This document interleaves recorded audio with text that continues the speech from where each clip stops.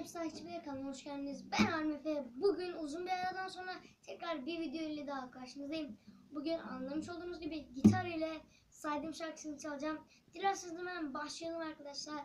Son 2, 3, 4.